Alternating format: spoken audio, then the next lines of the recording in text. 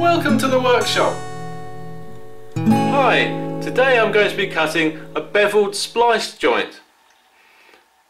We'll be connecting two components of equal uh, dimensions in their length by cutting a stepped angle or step bevel at the end of each one. So this is the material we're removing. Those two get glued together. The steps at each end of the joint provide good mechanical strength to stop the components compressing together.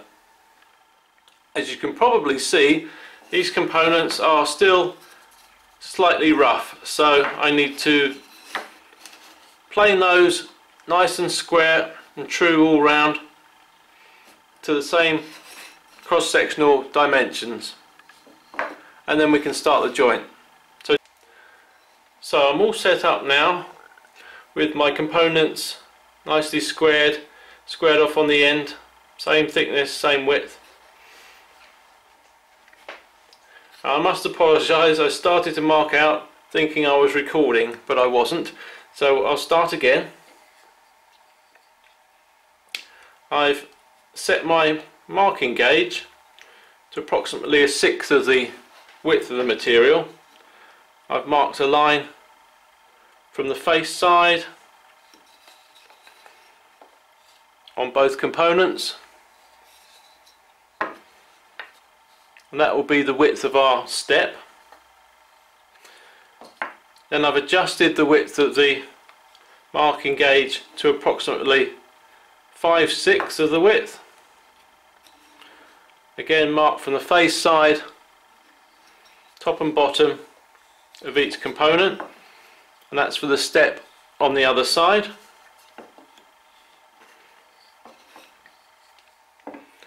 Then taking my bevel gauge which I've set in this instance to a 1 in 3 slope.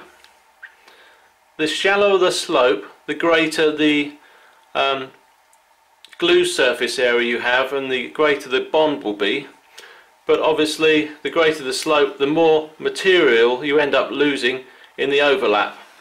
So just for this demonstration I'm doing one in three. Set the bevel gauge on the end of the step mark. Pencil and I've scribed that line as well. So knife that line just up to where the other step where we mark with the marking gauge, the other width of the step. Move the bevel gauge across, keeping it in the same orientation to the other component. Line it up with the step opposite to the face side and mark and knife a line to the opposing step. Now flip everything over.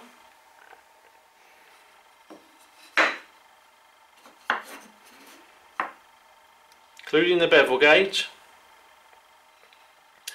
And then we want to connect from the step again on the face side because the face side is this side now. So from the bottom step on that component from the one step to the other step. Slide the bevel gauge down to the opposite component. Align it with this step here opposite the face edge this time. Mark it and knife it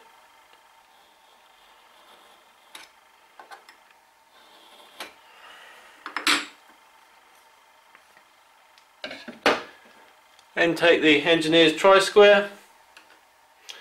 And we need to mark round for where the steps are. And the steps are where our bevel line reaches our step line. And that intersects there. So we want to knife that to the edge of the component. Now we need to transfer those lines around the step.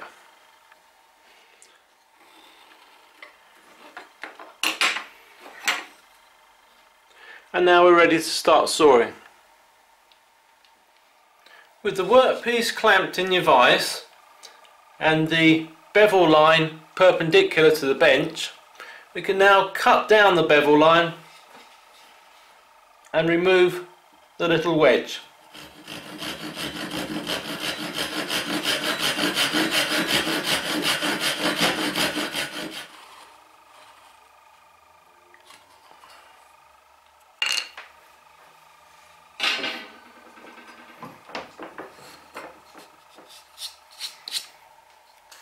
Now we need to smooth that surface either with chisel or a router plane. Bring it down to our knife line and nice and flat. You can do that eh, with the bench vise. If you snug up a little bit so you can still move the piece, find a chisel, fit it in your knife line and just adjust the piece so it's level with the jaw of the of the vise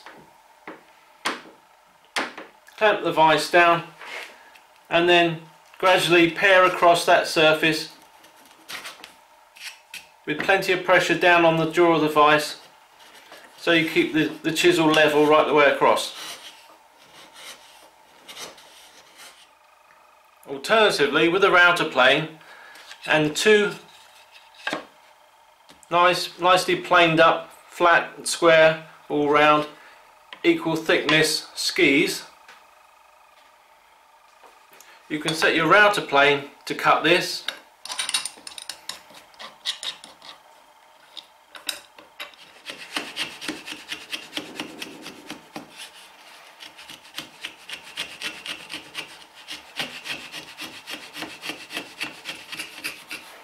Clean up both bevels on both of our components and then we should be able to test fit them. We uh, need to finish off with a chisel on our knife line just to square that up nicely. So feed the chisel onto the knife line and straight down.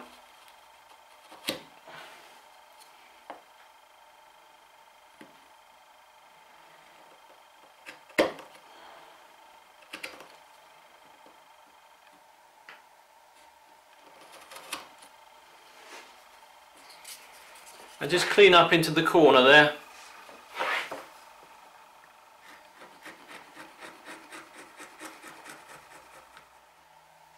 And that's going together nice and tightly now so we can glue it together. Clamping of this joint can be quite awkward. First of all you want to clamp two blocks either side of the joint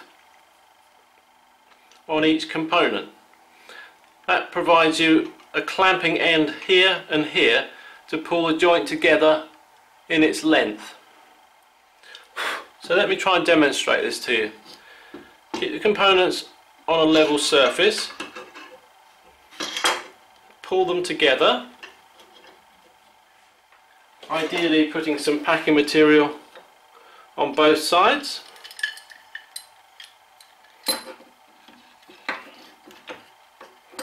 But as we tighten this clamp up, the wedges, the bevel surfaces, especially now that they've got glue on, will try to push the components apart. So we need to counteract that by clamping in this direction on the blocks that we've installed like so. Little bit of light pressure on one side.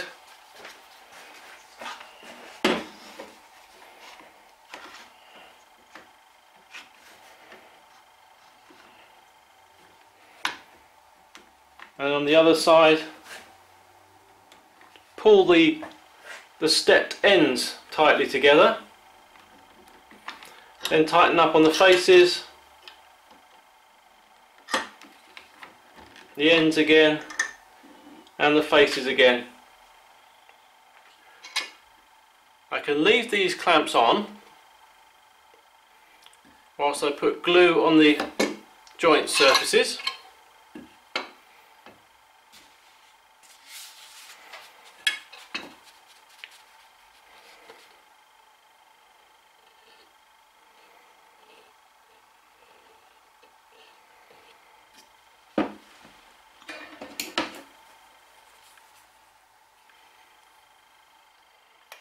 Okay.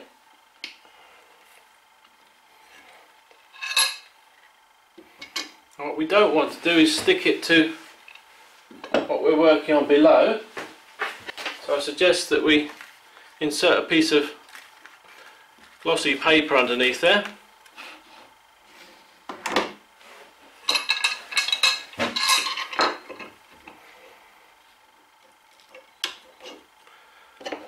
Align it up apply a small amount of pressure across the faces. That'll do. And then try and pull the ends in together.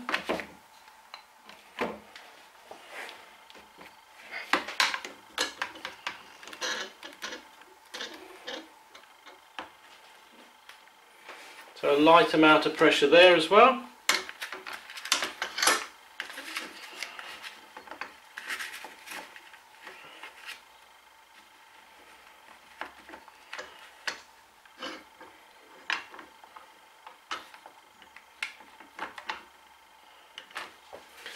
Make sure both components are nice and aligned with the surface underneath. Apply a little bit of pressure to the face and I've missed out my a clamping block there. Face protection block so let's quickly slip that in.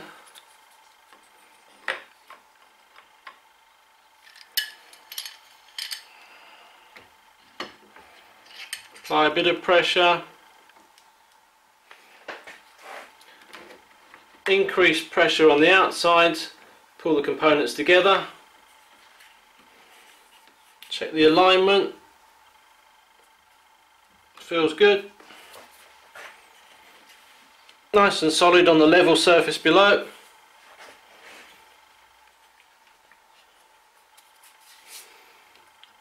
Tighten the face a bit more tighten up on the outside.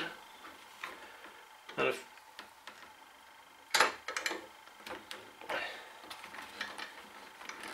tighten up on the face again but not so much that you're squeezing all the glue out of the joint. Good. Now I can flip that over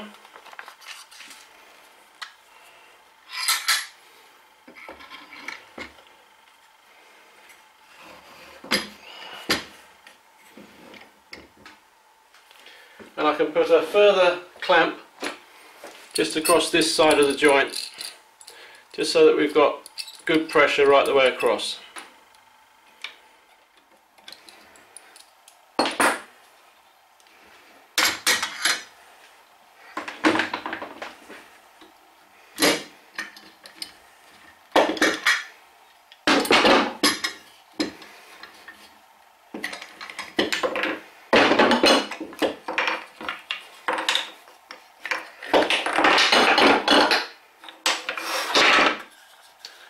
Good, it's staying together, always a good start. I'll just clean off the glue squeeze out, run the plane over the edges just to clean it up a bit and show you the finished result.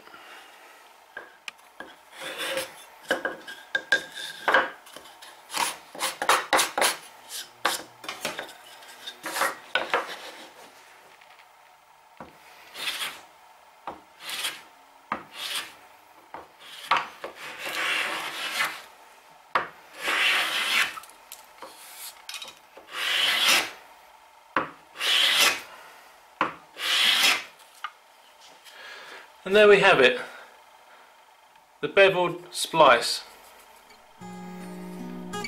Give it a go.